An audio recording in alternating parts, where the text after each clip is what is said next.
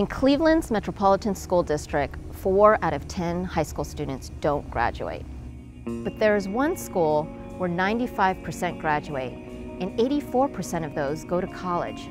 We get mentors and real-world experience through volunteering and internships. And when we graduate, we're prepared to succeed in college, in our careers, and in life. It's called MC Squared STEM High School. Take a look at what they do for their students. It might change what you do for yours.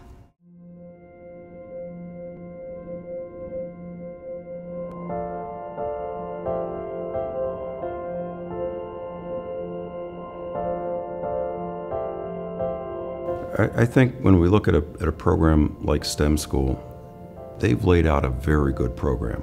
The hands-on projects, the industrial collaboration, the university collaboration is a wonderful environment in which the kids can excel. Each kid has to have their fuse lit for that rocket to take off. So you can get them out on the launching pad, but if you don't light the fuse, they're not going to go.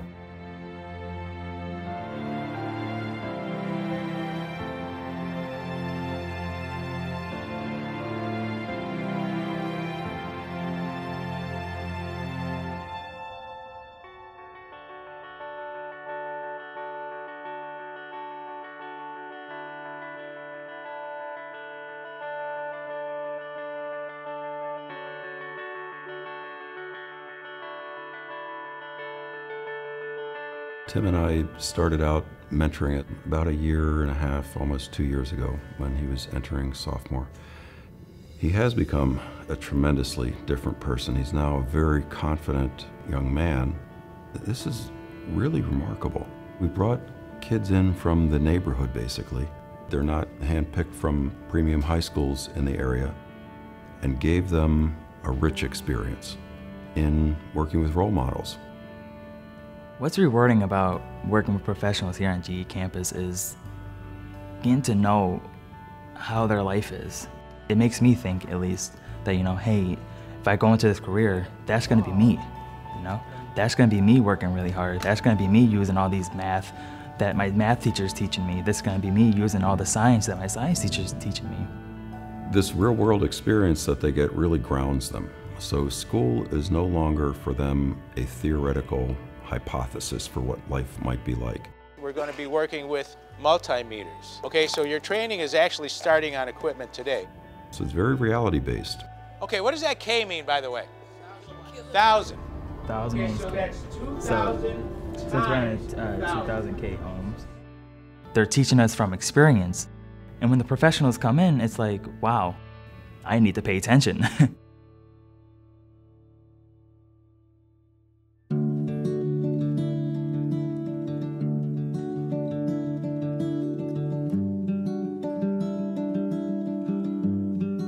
Mastery-based grading is different from the ABC scale.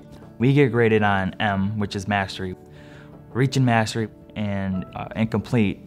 It's a negative slope, and it's less than or equal to. Assessment in mastery is, in math is done two ways. One through the testing of the mastery of the paper pencil skills, but then any project we do has a rubric, so the students know exactly what they need to do to perform to reach mastery. Before we did the quadratic formula, what did we do? The kids have to show that they've learned the content, and I, I feel really comfortable about that.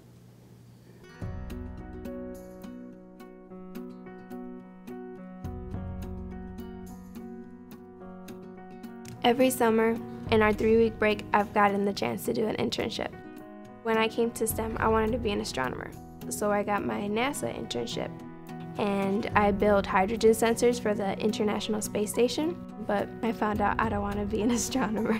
my second was in the Injury Prevention Center at uh, University Hospitals. I found out I don't want to do anything that has to do with hospitals. My third one, which is the one I'm currently in, uh, is at American Civil Liberties Union. I think I'm gonna end up doing something with political science that has to do with protection of our rights because I'm very passionate about that. Engineering is in my family. My father is a building engineer for Cleveland Thermal, so I was always interested, but I needed guidance going into high school. At STEM, everything was based on projects with other people, not just science, technology, engineering, and mathematics. It goes beyond that. It goes to character, teamwork.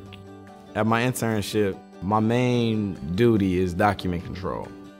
I started in March, but maybe around July, I started to understand the stuff I was folding. I started to understand the stuff I was typing. This internship is more school to me than high school right now.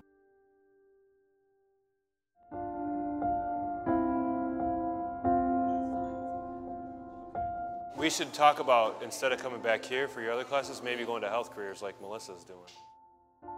They're not only getting from us an insight into how do you get through high school to prepare for college, how do you choose in college, but what does it look like beyond that? What are you really getting ready for? So the message to the kids is it's not a linear path through school or grad school or med school or law school. It's really that emotional guidance. What are you feeling in here that makes sense to you in life, where you think you can contribute? That emotional guidance, I think, is really key.